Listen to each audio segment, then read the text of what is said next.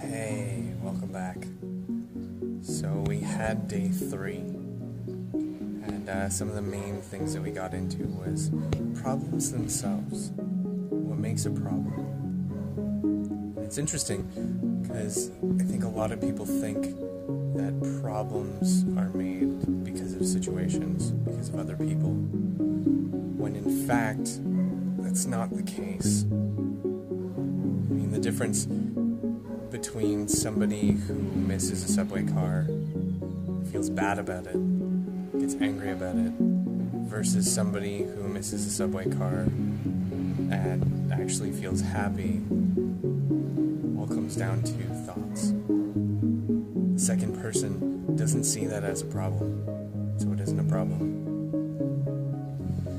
What makes a problem a problem is how the person perceives it and then how much thought process they put into it. And it seems the more thoughts they think about that scenario, the more emotional energy is put into the problem and strengthens it. With the case of somebody who, I guess, got bit by a dog as a kid, they can create tons and tons and tons of thoughts about it to the point that they are afraid of dogs and, and, they can't stand them. They get sick seeing a dog. So we looked at that. We looked at problems. And we also looked at the beginning of the solutions to those problems. And the interesting thing is, is that it's not about going in deep, looking at all of the details of the problem, why it happened, and this and that. It's more about looking at the patterns, looking at the memories, and going in and changing the patterns. Changing the emotion, emo- emotions, wow. Changing the emotions associated with those patterns something that feels better. So you don't actually have to go in, look at all of the negative stuff, feel uncomfortable about it, and and then it resolved. Which is kind of interesting. It's a different kind of way of doing things for sure. And it's interesting because, you know, you hear things like The Secret and stuff like that. People talk about, you know, just going and, and being positive about it. Trying to be, think more positively. I always thought that was kind of crap. Um, that you had to actually look at it, look at the why, deal with everything. But it's interesting because it kind of is with looking at the positives. Bringing, but it, it's not about ignoring the negatives. It's not about ignoring your emotions. It's about associating good feelings to those situations. And then from that good feeling place, you can find solutions to problems. Or rather, the person can find solutions. And sometimes maybe you have to add more information or tell a story or something. But ultimately, it's the client who's figuring all this out. We're just guiding.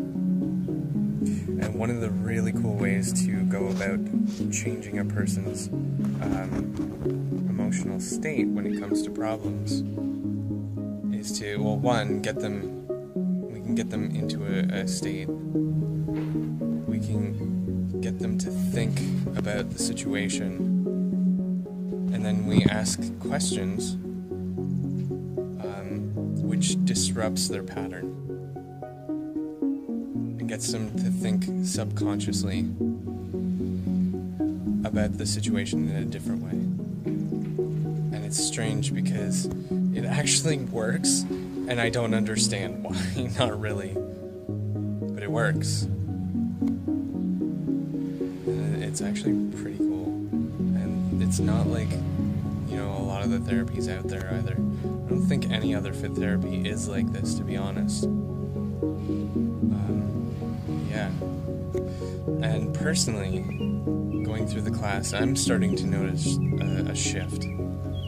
Um, I've started to notice like how negative I have been. You know, some of the stuff that I would talk about, questions I would ask myself and other people. You know, I'd, I'd be in a kind of negative state, and now I'm I'm kind of shifting. For up until this point, I think I've I've had a lot of negativity inside and I've kind of had this belief that you know being positive is naive and stupid and stuff like that to a degree. But now it's like I want to be positive and I want to let that stuff go.